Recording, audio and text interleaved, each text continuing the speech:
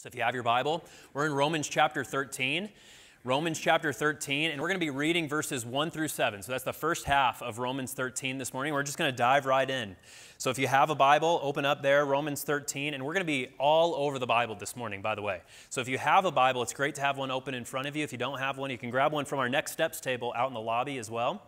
But with that, this is the Word of God. Romans chapter 13, beginning in verse 1, is the Word of God. Paul writes, let every person be subject to the governing authorities. For there is no authority except from God, and those that exist have been instituted by God. Therefore, whoever resists the authorities resists what God has appointed, and those who resist will incur judgment. For rulers are not a terror to good conduct, but to bad. Would you have no fear of the one who is in authority? Then do what is good and you will receive his approval. For he is God's servant for your good. But if you do wrong, be afraid, for he does not bear the sword in vain. For he is the servant of God, an avenger who carries out God's wrath on the wrongdoer. Therefore, one must be in subjection, not only to avoid God's wrath, but also for the sake of conscience. For because of this, you also pay taxes for the authorities are ministers of God attending to this very thing. Pay to all what is owed to them taxes to whom taxes are owed, revenue to whom revenue is owed, respect to whom respect is owed, honor to whom honor is owed. This is the word of God. So, we've been uh, studying now the book of Romans for a long time. Uh, we're probably close to two years in the book of Romans. And you know, Romans really does give us some subjects that are very weighty, doesn't it? Romans gives us these weighty subjects that can be extremely difficult to wrestle with. For example, the book of Romans makes no qualms about the wrath of God. The wrath of God, something that isn't posted in newspapers very often, is the subject of the wrath of God. Why? Because it's a very weighty subject. And it's the Bible's teaching that God is angry with sin and that God, as a just judge, will punish sinners. That's a pretty weighty subject, isn't it? There's other weighty subjects, subjects like sin, the subject of sin, which is especially weighty because Paul seems to talk about sin almost at every turn throughout the book of Romans, especially, you know, the fact that he kind of distinguishes even between types of sin. You remember back in Romans chapter 5, Paul talked about this idea of original sin something that we hardly ever talk about in our culture. Original sin is the teaching that as human beings, we are actually born guilty because of Adam's sin. We're actually born into this world guilty before God because of Adam's sin some thousands and thousands and thousands of years ago. And on top of that, Original sin teaches that we have corrupt natures, that by nature we aren't good, but we're actually distorted and we're twisted and turned to actually love sin more than we love God. So that's pretty weighty. And then Paul even talks about the effect that sin has, the extent of sin, that sin actually touches every single faculty of our human existence. It affects our bodies, it affects our minds, it affects our desires, it affects every single part of us. And you go on in the book of Romans, and the, the topics just get even weightier and weightier. Paul talks about this idea of predestination, or this idea of election, this idea that the Bible teaches that God sovereignly chooses our eternal destiny even before we were born, and He chooses those whom He's going to save by Jesus Christ. Those are weighty topics. And as weighty as those topics and subjects are, and have been to talk about, I would argue that none feels as weighty, at least on my end, none feels as weighty as the subject that Paul brings up today.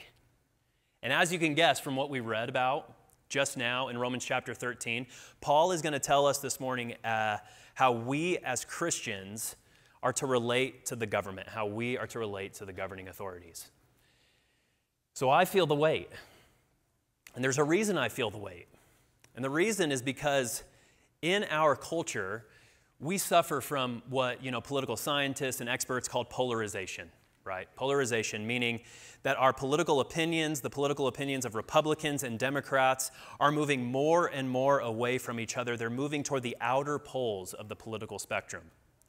And with this polarization comes less conversation with one another and less mutual understanding of one another.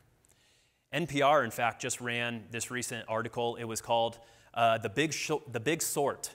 The Big Sort. And it was talking about this new phenomenon in American life where uh, Americans are beginning to move out of districts, out of voting districts where they are the minority, to go be with people who are more politically like minded with them.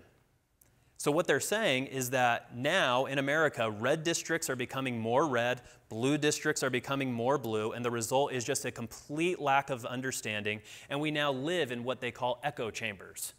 Echo chambers, where our opinions and our beliefs are merely repeated by the people around us, and it results in a lack of conversation. And along with this polarization, right, also comes deep mistrust and suspicion real suspicion of people who don't agree with us politically. I looked up these statistics. In 1960, 4% of Republicans and 4% of Democrats say that they would be displeased if their child married someone of the opposing par- party. That was in 1960, 4%. Now, in 2019, can you guess, did those numbers rise or fall?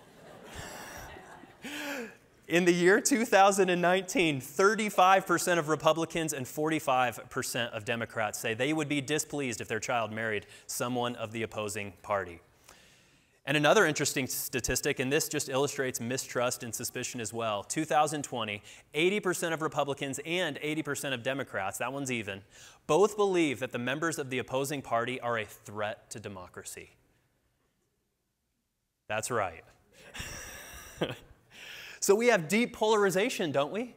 Deep polarization, which has led to less conversation and mutual understanding, and that results in deep mistrust and suspicion of one another. But another reason that this feels so weighty is that I would say, hey, more than any time in American, in American history, we have actually allowed political affiliation to become a prominent part of our identity a prominent part of our identity. David Brooks, who's an op ed writer for the New York Times, he made this observation that there's been this shift that's happened in American culture.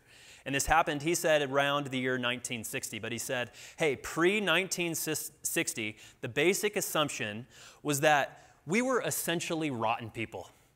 We were essentially rotten people. And we all kind of agreed to that. We all looked inside of us and said, hey, there are things that need to improve. But he says, what happened is post 1960, the basic assumption changed, and we now view ourselves as morally pretty good people. And so, what's happened as a result of that, instead of looking inside and saying, I need to change something about myself, we've taken on political identities that say, hey, if we want to fight evil in the world, we don't fight it inside of ourselves, we fight it with those people over there. Because we're basically good. And if we look inside ourselves and see a particular political affiliation, then we look at that other person and we say, well, they must be the bad people then, right? It only, it only uh, results in this idea that we battle one another with our ideologies. And now, so deeply ingrained in us is our political identity that we don't know how to sort out right and wrong, good and evil. So it's for all those reasons that makes this section of Romans especially weighty and difficult. And Paul here in Romans uh, is really moving on from what he had started in Romans chapter 1 through 11. Remember, in Romans chapter 1 through 11, Paul was focused on the guilt of human sin, the grace of God in Jesus Christ. And in Romans chapter 12, he shifted to how we live in gratitude toward God. And over the past number of weeks, We've seen what this looks like, how to live lives of gratitude for the grace that God has shown guilty sinners like us. And Paul this morning, he says that one way that we express our gratitude, one way that we show gratitude for the God who has given us so much grace is how we relate to the governing authorities. So that's his question this morning. How should we as Christians, in gratitude, relate to the government? And what Paul does is he gives us a principle, gives us a principle that we can live by when it comes to relating to the governing authorities. Then he gives us a reason for that principle. And then he gives us a conclusion to follow from his principle and reason. So, with that, Paul begins in verse 1, and he begins with the principle. When we relate to our governing authorities, this is what Paul has to say to us. He says very clearly, Romans chapter 13, beginning in verse 1, he says, Let every person be subject to the governing authorities. That's Paul's basic principle. Let every person be subject to the governing authorities. That is, as followers of Jesus, as those who want to follow Jesus in our life, every Christian is to first recognize the authority that the government has. And then, second, we are to submit to the government's leadership. And that's what it means to be subject to the governing authorities, to recognize and to submit. And now, I realize, even in verse 1, okay, I realize even in verse 1, as soon as we read this principle, a handful of us already have a flood of questions and hypothetical situations and objections that fill our mind. And even just hearing the principle here laid out by Paul, we want to ask questions, don't we? We want to ask questions like, well, okay, but that can't be an absolute command, can it? Or questions like, well, are there any caveats? When can we not follow this principle? When can we disobey the governing authorities? And let me just say, those are good questions. Those are very good questions, and we'll get to that in turn. But in order to even get to that question, we have to understand this principle further. You have to go a little bit deeper.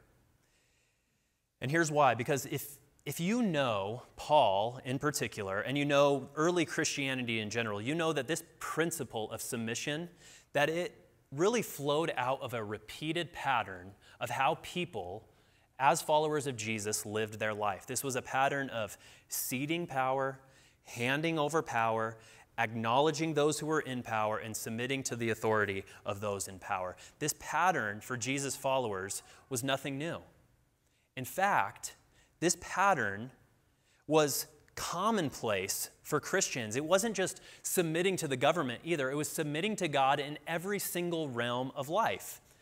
So, for instance, this, this had a huge bearing on how Christians thought of the marriage relationship on how husband and wife were supposed to relate to one another. So, Paul actually, in the book of Ephesians, said that this pattern of submission had a bearing on wives and husbands. There he says, Wives, submit to your own husbands, as to the Lord. And he goes on to say, For the husband is the head of the wife, even as Christ is the head of the church, his body, and is himself its Savior. And this extended beyond marriage relationships as well it extended into the workplace relationship. So, Paul, in uh, his letter to another pastor named Titus, reminded bondservants, he says, Bondservants, you're to be submissive to your masters in everything. They are to be well pleasing, not argumentative, not pilfering, but showing all good faith, so that in everything they may adorn the doctrine of God our Savior. And then in church life, once you went out of the secular world and you walked into the churches, this same posture and pattern of submission was supposed to be followed. Uh, the author of Hebrews says to those in churches, Obey your leaders and submit to them, for they are keeping watch over your souls as those who will have to give an account. Let them do this with joy and not with groaning, for that would be of no advantage to you. So, can you see the pattern here? You guys following with the pattern? This pattern of being subject to authorities, of becoming a servant, also flowed out of, all these relationships flowed out of merely the life of Jesus himself, who Jesus uh, became the form of a servant even though he was the king of the universe. So early, early Christians, they actually had this song. When they wanted to praise Jesus for who he was, they sang this song. Many of us don't know that this is a song, but that's what most scholars think. It comes from Philippians chapter 2. They would sing this song Have this mind among yourselves, which is yours in Christ Jesus, who, though he was in the form of God, did not count equality with God a thing to be grasped, but emptied himself by taking the form of a servant being born in the likeness of men and being found in human form, he humbled himself by becoming obedient to the point of death, even death on a cross. So you see, this is just a repeated pattern throughout the New Testament. And this pattern, in fact, was as Christianity was expanding throughout the Roman world, this pattern and principle became even ingrained into the early life of the church. So much so that if you started out as, you know, kind of a servant of the church and you would maybe teach some Bible studies, and as you made your way up the ranks into the church and you would become ultimately a pastor or a bishop, which oversaw many churches, they actually started having this term in order to give to bishops. And the term was this when you were ordained as a bishop, you were called the servant of servants. Right? And the idea behind that was that no matter how high you would rise in the church system, no matter how high you would rise, you would never see yourself as one who was above submission, above subjection, and one who wanted to serve in servant obedience. Because, friends, that was just the pattern of Jesus himself, who was willing to be subject to the governing authorities, even if it meant death, even if it meant death on a cross. So you see, this principle and pattern of submission right? It was just ingrained in the New Testament, ingrained in the early church. And if we realize kind of our political climate, right, we also realize that this is, doesn't necessarily come natural to us, does it? This isn't our pattern that we typically follow, especially in our political climate marked by deep polarization. In fact, the pattern we follow, if our last two presidential cycles have been anything of an indicator, our pattern seems to be miles apart from submission, subjection, and servant obedience to one that's probably turned more to combativeness, defiance, and resistance.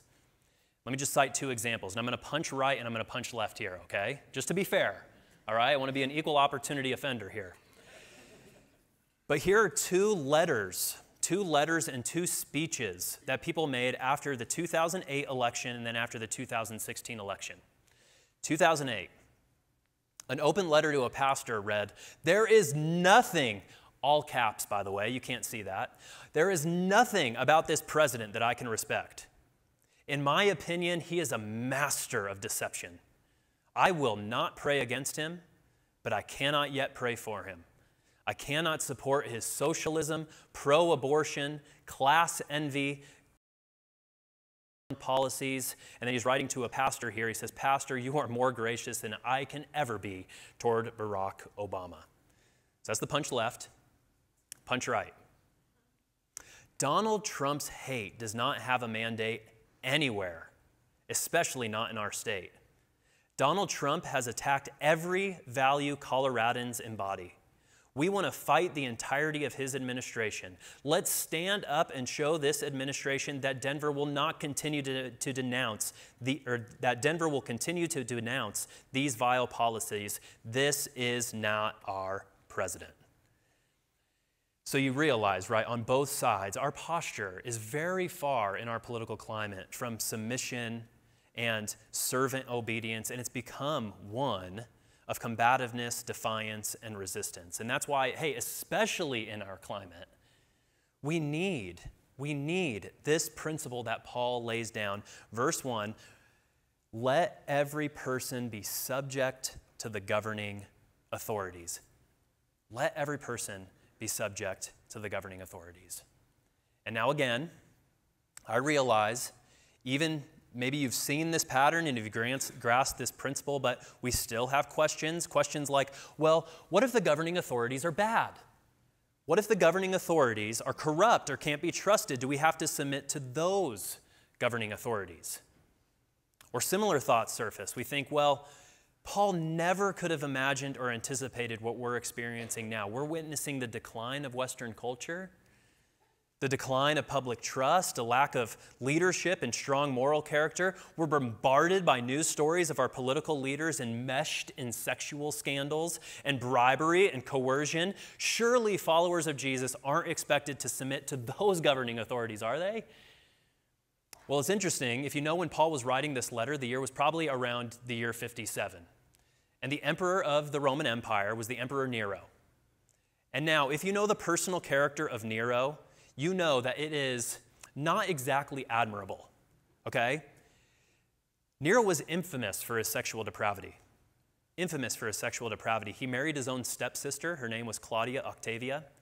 And then when he was married to his own stepsister, he had an affair. He had an affair with a woman he found deeply attractive. Her name was Poppaea Sabina. And his mother, Herod Agrippa, or, or, sorry, Agrippa the Younger, she discovered the affair. And so, in confronting Nero about it, Nero had his mother killed. And then, after getting into a squabble with Poppaea Sabina over the same issue, he kicked Poppaea Sabina in the stomach so hard that his pregnant wife had a miscarriage, and then Poppaea Sabina died weeks after. And then, after his death, Nero decided, I want to remarry. So, what did he do? He found a, a boy on the side of the street who looked just like Poppaea Sabina.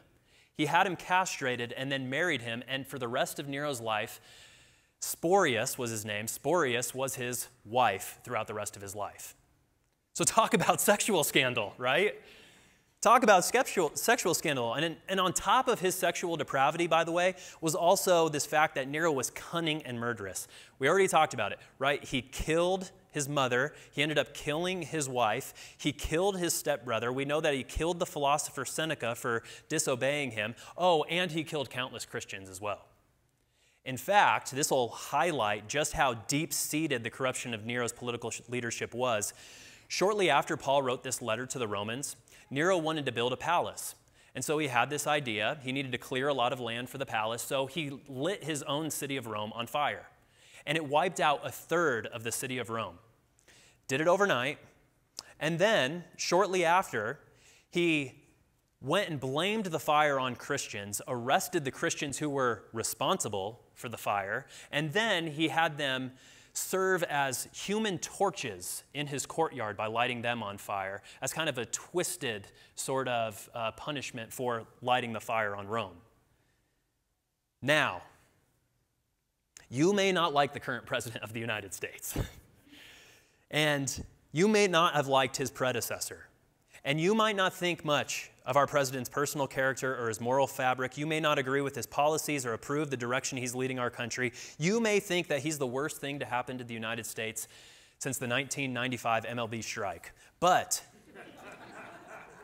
which is going to happen this year again. But I think we can all agree that when we compare the sins and the shortcomings of Nero to the sins and the shortcomings of any U.S. president, I think we can all agree that they pale in comparison to those shortcomings of Nero. I think we can all agree to that.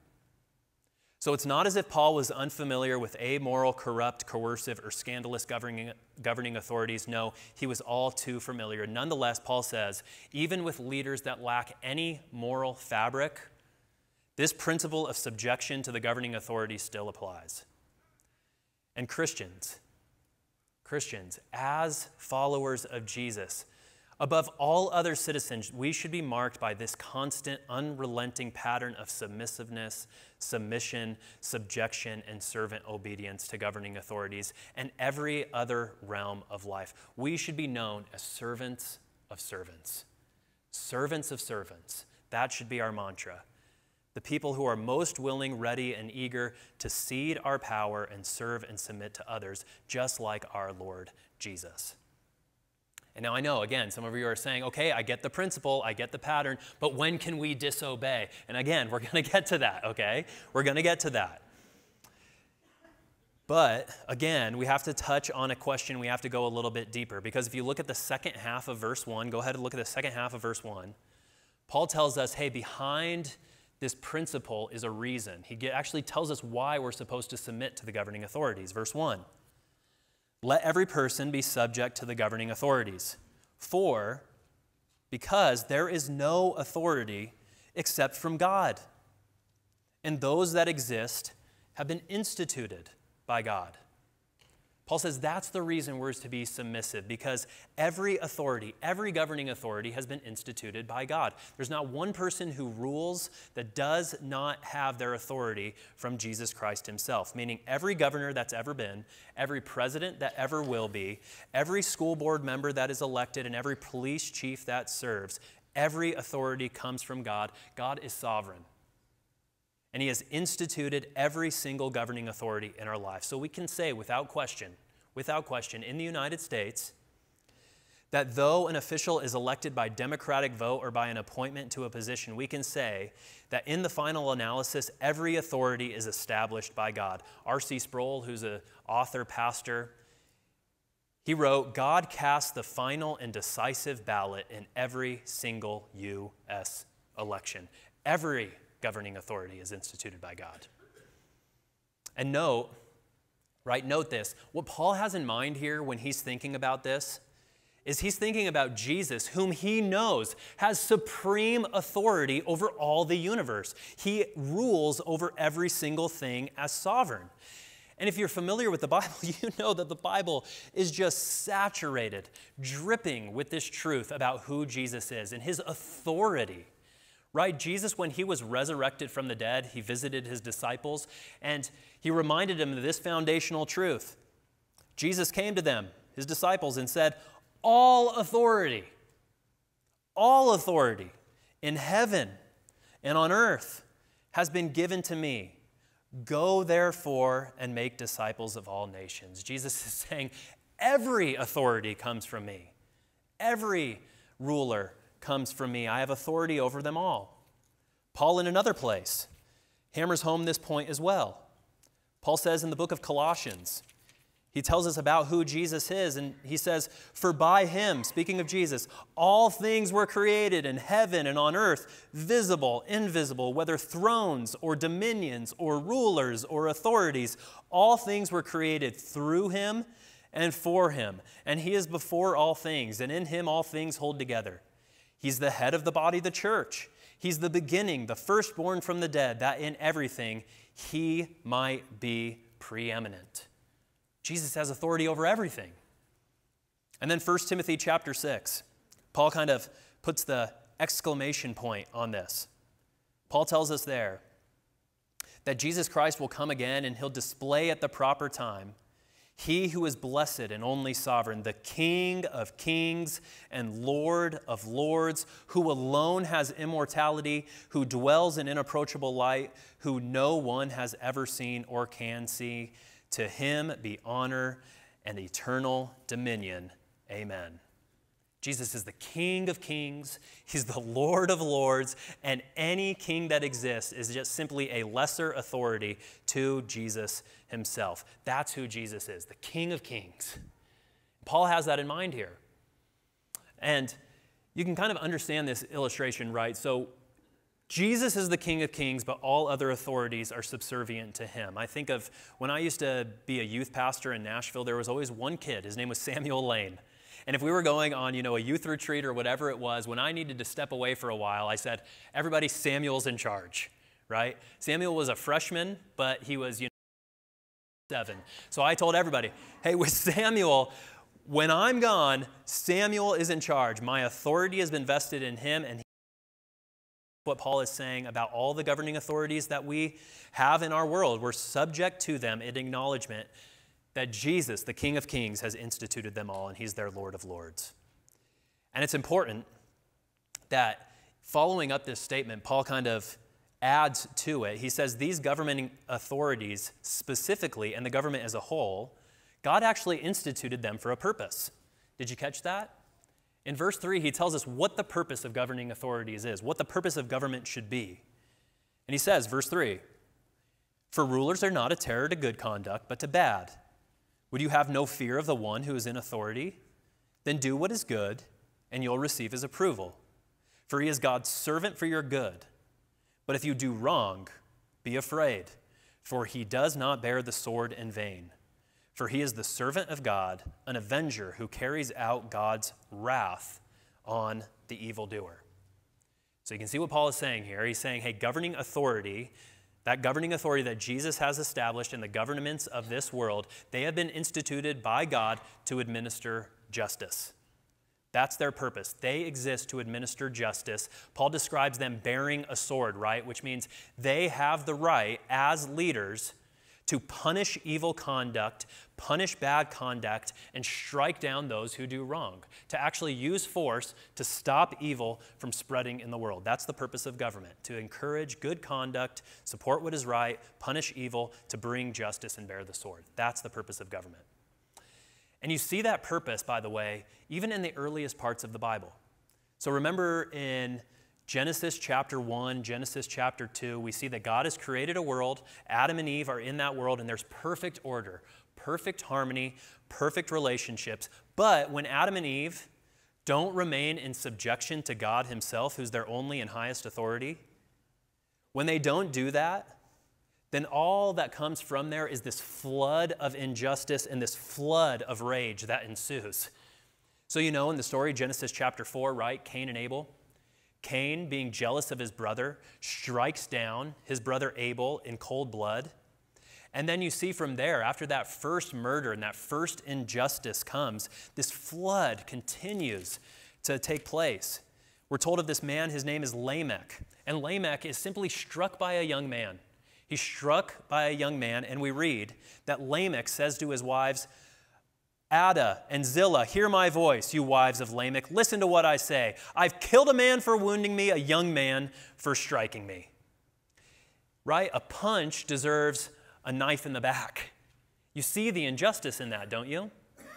And so, God's response in this world that is spiraling into chaos and injustice and vigilante retribution, God's response is He sends a cataclysmic flood and saves one family one family on the earth, the family of Noah. And as Noah's family is coming out of the ark after God has completely destroyed all flesh on the earth, God has this final word. He says, For your lifeblood I will require a reckoning. From his fellow man I will require a reckoning for the life of man. Whoever sheds the blood of man, by man shall his blood be shed. For God made man in his own image. See, God establishes a system of a sword, of a sword, which simultaneously restrains sin and punishes evil when it occurs. It's a system that administers justice. That's the role of government. And when you think in those terms, right, government is a tremendous blessing because if God did not establish this, we would utter, uh, descend into utter chaos. Has anybody ever been to a YMCA daycare? Talk about a place that has no governing authority whatsoever, right? There's a teenager looking over three and four year olds, and there are no consequences for actions. And we used to drop our kids off at the Nashville uh, YMCA daycare, and you want a snapshot of anarchy on earth. That is it. Pacifiers being so- stolen, diapers being thrown, three year olds crying in the corner, and it smells awful in there. Not a diaper's being changed. Mere anarchy, right? Anarchy on earth. So we can thank God for this tremendous blessing of a system that God has established of people who bear the sword to administer justice and restrain what would otherwise mean our destruction of ourselves because of sin. So, here, now that Paul has answered how we're to relate to governing authorities, right, he's given us the principle submit to the governing authorities. And he says that's based on the pattern of submission and servant obedience throughout the New Testament. And we do this for a reason because God Himself has established the governing authorities to administer justice on evildoers. Now it's appropriate to ask, now that we've covered that, well, when can we disobey? When does this principle not apply? And I do want to just ask you this question Why is it that when we hear this principle by Paul, our first question that pops into our mind is, yeah, but when can I disobey? Doesn't that speak something of our hearts a little bit? I want you to think of a mother and a child. And a mother says, Hey, Susie, I love you. I care for you. I, I, want what's best for you. And for that reason, I never want you to touch the stove. And Susie, we would know something's wrong with that relationship between her mom, and something's wrong with Susie's heart if all of a sudden she said, Yeah, but when can I touch it, mom? When can I touch that stove? When is it okay for me to touch the stove? If that's her first inclination, if that's her first thought pattern, what does that say about her heart? And so that's just a question for us, and, and we're going to get to the question, by the way, but that's just a question for us. Why is it when we hear submit to the governing authorities, our first thought is, but when can we disobey? That speaks something to our heart, doesn't it? But here's the answer to the question. The obvious answer is yes, of course. Of course, a time comes when we can disobey the government. And again, we see a pattern in the Bible when disobedience is called for. The book of Exodus. Great first example you see of this in the Bible. Pharaoh, who's the king of Egypt, right? The Pharaoh, the ruler of all of Egypt, He's afraid that his slaves, who are the Israelite people, that they're going to rise up in rebellion against him. So he orders midwives who are delivering babies. He says, if anyone comes out of a male, you're to kill them on the spot. And so the midwives, being godly women, say, we can't obey. We can't kill children at your command. We just can't do it. When your authority supersedes the authority that God has set down, we, we can't obey. Fast forward about 700 years later, there's another example. There's Daniel. Daniel and his friends are in exile in Babylon, and there's a king. His name is Nebuchadnezzar. And Nebuchadnezzar is, for all intents and purposes, a pretty shady king. But Daniel serves him faithfully. His friends serve him faithfully. But one day comes when Nebuchadnezzar erects this massive statue of, him, of himself and says, Everyone on earth, when you hear the song of the statue, you have to bow down and worship the idol. And Daniel and his friends say these words. They say, Hey, King, be it known to you, O King, that we'll not serve your gods or worship the golden image that you've set up. We, we just won't do it. Move ahead to the year 30 AD. And Peter and John, they've just been told by Jesus, go out and make disciples. I have all authority in heaven and earth. This is your mission. Go tell people the good news of who I am. And the Jewish council arrest Peter and John, and they say, You can no longer teach in his name. The name of Jesus, it should not be uttered on your lips. And what's their response? They say, Whether it's right in the sight of God to listen to you rather than God, you must judge. For we cannot but speak of what we've heard and what we've seen. So you see that underlying pattern, right, of civil disobedience. It's very simple. In the case of the midwives and Daniel, they were asked by the government to do something that God had said, no, that's forbidden. And for that reason, they say, we're not going to murder. We are not going to worship false gods. Therefore, we will not do it. When asked to do what God forbids, they disobeyed. Their commitment to their governing authorities ended at that point. In the case of Peter and John, it's similar, but in the case of Peter and John, they were asked by their governing authorities to not do something that God commanded, what he told them to do. And their commitment to their governing authorities at that point became null and void. So you see, in all three instances, the pattern is clear. When the governing authorities tell us to sin, by either doing something God has forbidden or not doing something that God has commanded, we disobey. We disobey knowing that though these authorities are instituted by God, they have no authority to ask their subjects to sin. Ruling authorities cannot simultaneously say, Listen to me, and disobey God. They can't do that. And by the way, recognizing this pattern, by the way, you also see kind of this current going through all these instances of disobedience. In each instance of disobedience, the clear motive and purpose behind it is to honor and worship and glorify God alone. That's it. That is their motive. That's their purpose. That's what they say, no, I will not do this any further. That's the line that they draw. So, another thing for us to consider, by the way, is hey, when it comes to our impulse towards civil disobedience, is that our motive? Is our motive to honor, glorify, exalt, the goodness of our God over everything else, or is it something else? What is driving that impulse for, toward our civil disobedience? And hear me clearly here, because as followers of Jesus, while it's wonderful, and by the way, I, I, don't say I say this with all sincerity on my lips, while it's wonderful to live in a place that affords us certain freedoms and rights and privileges and liberties while it's great to live in a country where I can actually stand up on Sunday morning and I'm not under threat of being arrested, while those things are great, they are never guaranteed in the Bible, and they are never the basis for civil disobedience in the Bible. It's always for the glory and the honor and the majesty of God, and that's the driving motive and purpose behind it. So we should thank God for our civil freedoms, but we should never use them or cling to them above honoring God as our first primary motive and principle. That's just a basic fact of the Bible. But it is a sincere question, right? Well, what, what about our rights?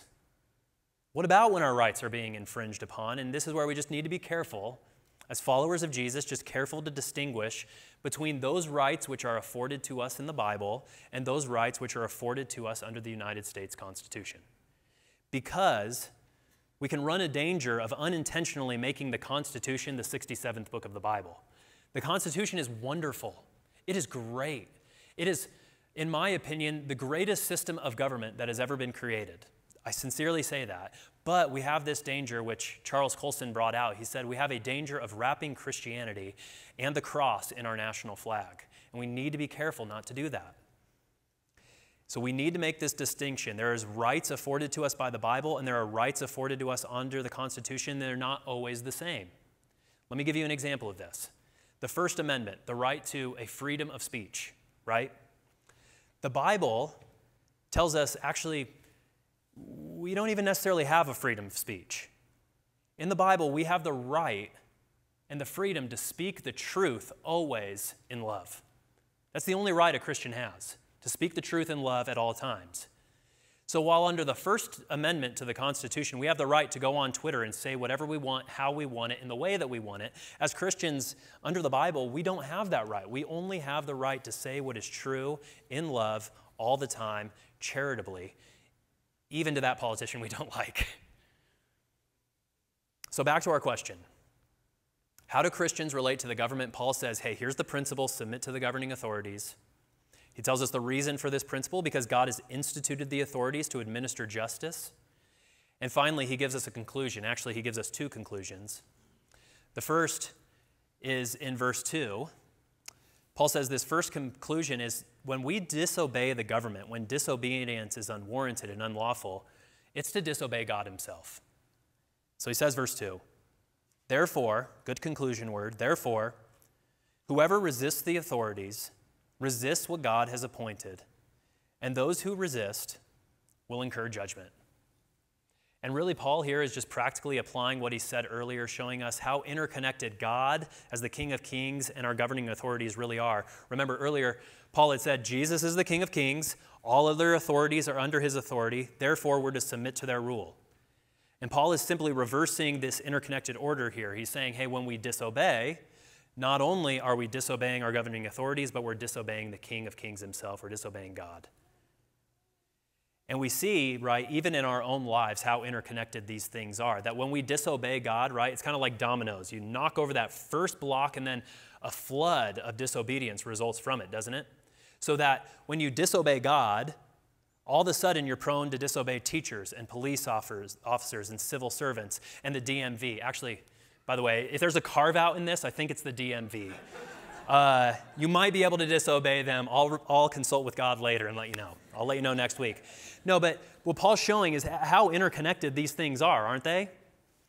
And likewise, when you go from the other end of the domino chain, the same thing happens, right? If we're people who already by default want to disobey our city workers and tax collectors, again, maybe a caveat there, tax collectors or other government personnel, how can we expect to obey the one from whom all authority flows?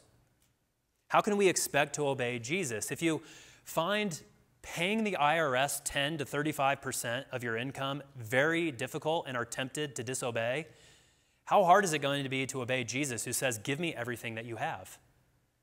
It's going to be pretty difficult, right? So Paul just shows us how interconnected these things are, and he says, Here's the conclusion when you disobey the governing authorities, you disobey God Himself. And then Paul gives a final conclusion in verse 5. Therefore, one must be in subjection not only to avoid God's wrath, right? That's the idea of to avoid justice, right? Why don't I speed? Well, a lot of times it's because I just don't want to get a ticket.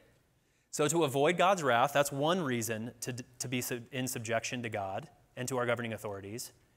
But he says also for the sake of conscience.